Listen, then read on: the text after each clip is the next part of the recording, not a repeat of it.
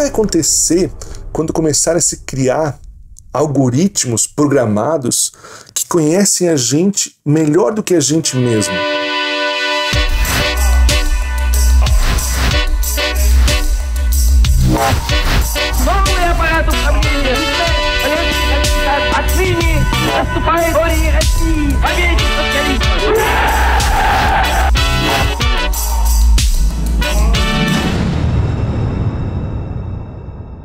É, lá em 1400 as pessoas queriam saber o que fazer, elas perguntavam para o padre, elas olhavam para a Bíblia e como eu devo agir? Aqui está, a Bíblia diz tal coisa, o padre diz tal coisa. E de repente elas pararam de, de agir desse jeito, porque elas pararam a confiar mais nos seus sentimentos, nas suas emoções, do que na Bíblia. E em breve vai chegar o tempo onde as pessoas vão confiar mais no algoritmo do que nas suas emoções. E vai ser muito melhor.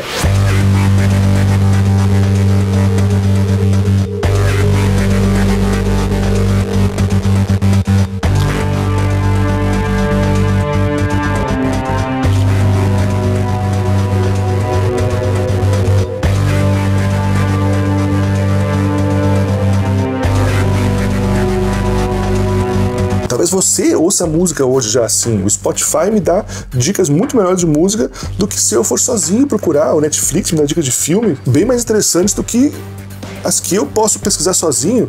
Se você vai comprar um livro na Amazon, por exemplo, a Amazon conhece o que você gosta. E a venda dos livros é interessante porque não é só sobre ah, os livros que você pesquisou, que você gosta mais, que ela viu que seus amigos gostam, mas em breve a Amazon vai te dizer que livro você gosta, inclusive pelo seu comportamento ao ler um livro. Porque assim como você vai olhar para o para o dispositivo, o dispositivo vai olhar de volta para você e vai saber em qual trecho do livro que você sorriu, em qual você chorou, qual que você leu mais rápido, em qual que você parou de ler para ir dormir e vai criar esse algoritmo todo para dizer não, esse livro é o melhor para você.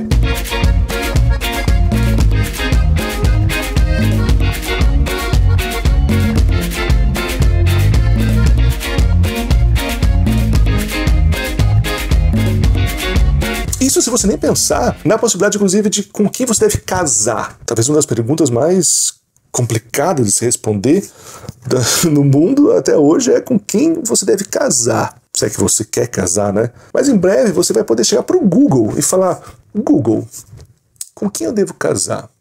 Tem duas pessoas que eu estou interessado e não sei com qual delas devo ficar. O Google vai olhar para você e falar: Olha, meu amigo, eu te acompanho desde o dia que você nasceu. Eu já li todos os seus e-mails, todas as suas ligações telefônicas, todas as suas fotos, eu sei o que você pensa, como você pensa, eu vi como você ficou, como você reagiu depois de cada encontro que você teve, depois de cada vez que você fez sexo com alguém.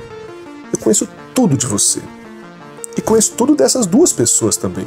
E não só conheço de vocês, três, como conheço de todas as relações amorosas que acontecem no mundo inteiro. Então eu te digo sem sombra de dúvida: estatisticamente, você tem 90% mais chance de dar certo com a pessoa A do que com a pessoa B.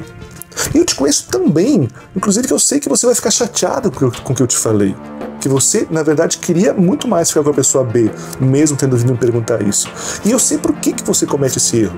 Porque você dá valor demais para a beleza física. E você faz isso na verdade, por algo que aconteceu com ancestrais seus há milhões de anos atrás, lá nas savanas africanas, que faziam você acreditar que a beleza física representava algo mais do que ela realmente representa. Mas se você tomasse a decisão a partir dessa perspectiva da beleza física, você tem muito mais chance de ter um relacionamento fracassado do que se você fizer o que eu estou te dizendo.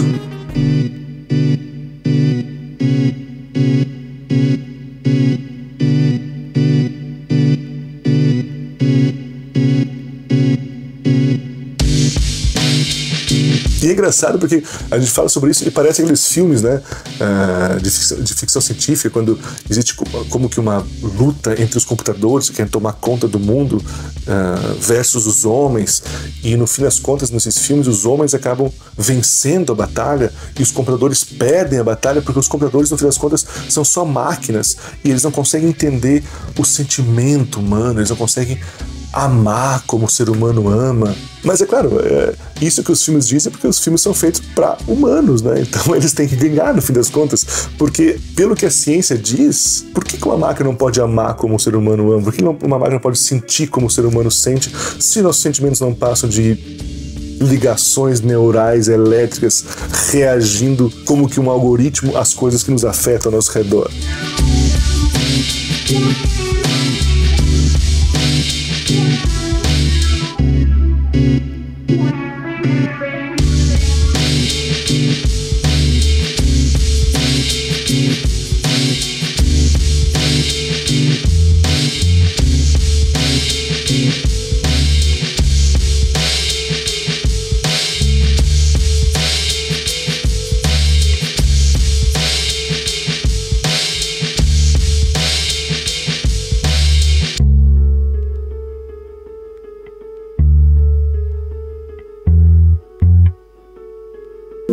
Obrigado a você que assistiu esse vídeo, espero ter gostado. Se você gostou, deixe seu like, inscreva-se no canal, deixe seu comentário aí embaixo. Dá uma olhadinha na nossa linha de camisetas do canal, parceria com a Coroa, vou deixar o link aqui pra você dar uma olhadinha. Se você gosta desse canal, você pode apoiar a gente, ser um apoiador financeiro da nossa campanha de financiamento coletivo pelo Apoia. Vou deixar o link também aqui pra você dar uma olhadinha. E se você quiser só fazer uma doação aleatória para esse canal, para nos ajudar também, a gente tem agora uma chave do Pix para você poder fazer uma colaboração pra gente. A chave vai estar escrita certinho aqui na descrição desse vídeo. Dá uma olhadinha ali, se você gostou, deixa ali seu a sua moedinha, vou passar o um chapéuzinho pra galera, porque é isso que faz esse canal conseguir se manter acontecendo. Espero que tenha gostado. Nos vemos no próximo vídeo, mas antes preciso mandar um abraço pros apoiadores desse canal. Então vamos fazer isso agora.